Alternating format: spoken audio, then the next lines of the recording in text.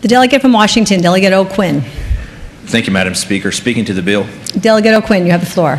Thank you, Madam Speaker. Um, so yesterday I listened very carefully to the debate um, that was had on the floor because um, it was a little different from the debate that we had in the committee. Um, I heard a lot of goals, a lot of aspirations, um, heard promises of jobs, and also heard some admonishment to just go ahead and um, get rid of certain jobs that we have in Southwest Virginia. Uh, but what I came away from that debate with, and what I sincerely feel, is that there's somewhat of just a general disregard for what's going on in our part of the state. Um, we have been absolutely hammered since the Great Recession, and we've really never pulled out of that.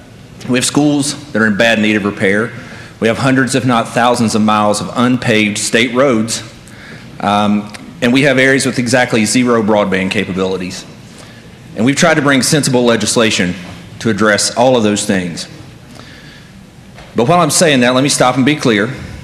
With the promise of the green energy jobs that are purportedly coming, we will take those um, if and when they materialize. Um, but we're a little skeptical about that as these are promises that have been made for a long time and have never, ever come to fruition.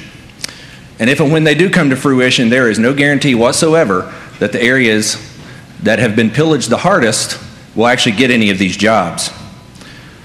And I've sat through discussions time and again, and I've heard you people in Southwest Virginia need to just diversify your economy and move on with it. And if only it were that simple. You know, you try looking someone in the eye with a straight face and saying you need to give up your $90,000 blue collar job for a $15 hour job that you don't want to do.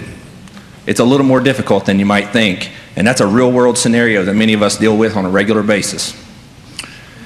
Oddly enough, in that vein, it's Southwest Virginia that seems to have worked the hardest at economic diversification. Our delegation, our entire region, our local governments, our economic developers have taken this on, head on, to try to make things better for the people that we represent. Just take a look at the legislation that we bring every single year because we all come from an area that's closer to seven or eight other state capitals than we are to our own.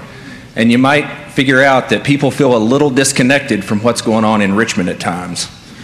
But we come with that spirit of cooperation and problem solving because we want to find real solutions to these tough issues.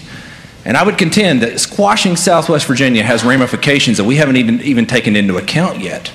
We are in the process of spending $350 million, and it may actually be more than that. I just got it off the Port of Virginia's website to expand the port. And for what? Because the top export commodities in Virginia, in large part, come from Southwest Virginia. And they are 10 times that of the second largest export and over half of the entire export volume. So the Port of Virginia also needs Southwest Virginia. And the port is one of those crown jewels that we talk about repeatedly that separates us from a lot of other states. And that's absolutely true. But in reality, yesterday, Delegate Kilgore hit the nail on the head. By barreling forward at 100 miles per hour, or maybe just 85 miles per hour now, but barreling forward, you put entire localities on the verge of bankruptcy. One locality in particular that will be affected by this. This is not hypothetical. They will be affected by this stands to lose $8 million from about a $50 million budget.